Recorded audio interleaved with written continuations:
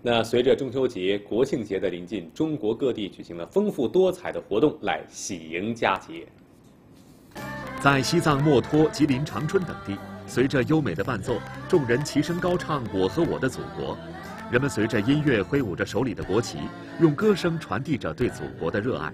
内心感觉汹涌澎湃。我作为一名中国人，我感觉到呢特别的自豪。祝我们的祖国国富民强，繁荣昌盛。连日来，在浙江农村。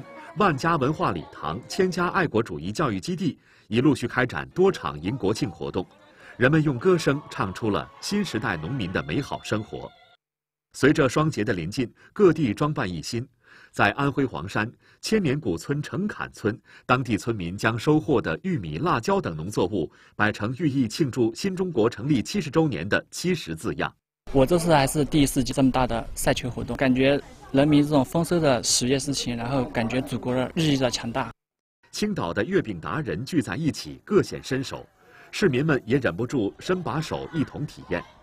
品美食还可以赏花灯，走进江西万载古城，处处已是张灯结彩，双节气息扑面而来。在云南昆明世博园，千组花雕艺术、万盏绚丽彩灯将夜空点亮。在甘肃兰州。五百架无人机灯光秀点亮了黄河之滨，在四川自贡，一场焰火秀盛大上演，献礼新中国成立七十周年。